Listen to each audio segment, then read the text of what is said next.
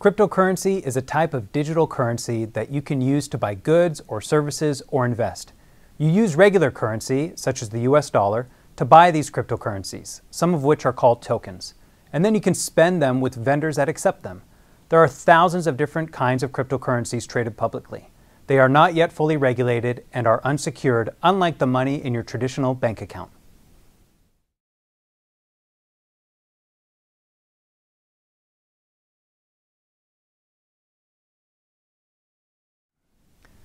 Blockchain is a digital ledger that tracks cryptocurrency transactions.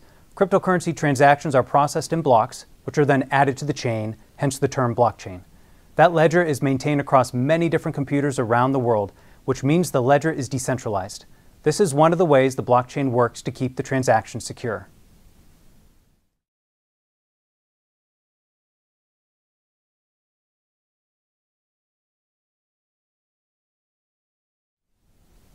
A digital wallet is the app or device where you can store your cryptocurrency.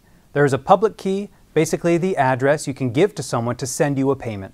The private key is a very long string of letters and numbers, and it acts as your password because you need it to access a wallet and remove currency.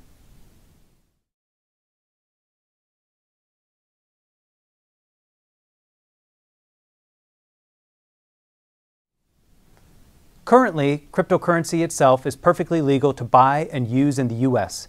In fact, many mainstream companies are now accepting cryptocurrency for goods and services. What we are seeing, though, is an increase in bad actors who are using old style scams to steal this new style virtual asset.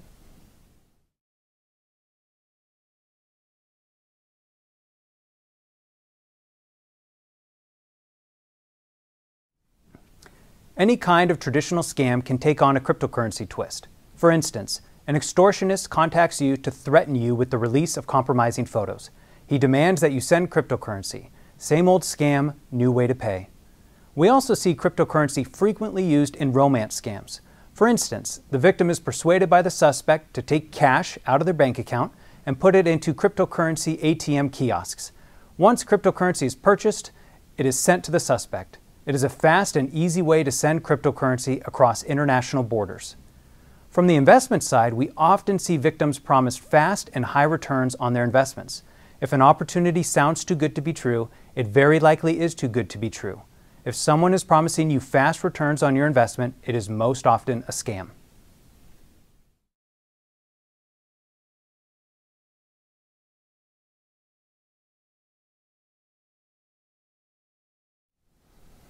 First, recognize that a cryptocurrency investment is like any other investment. It can go up or down. Buyer beware.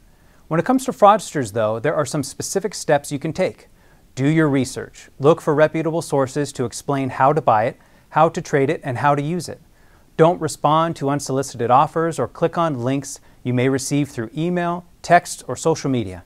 And never share your private key or seed phrase with anyone. That private key or seed phrase is all that is standing between you and someone trying to take your money. Cryptocurrencies experienced an enormous growth over the last five years. A lot of that growth has plateaued, but it appears the general public is trying to recreate that price boom so individuals can get rich with enormous and fast returns on investment.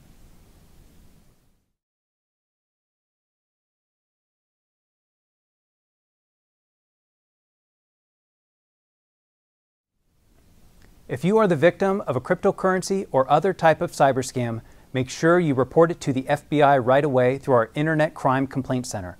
Go to www.ic3.gov to submit that information.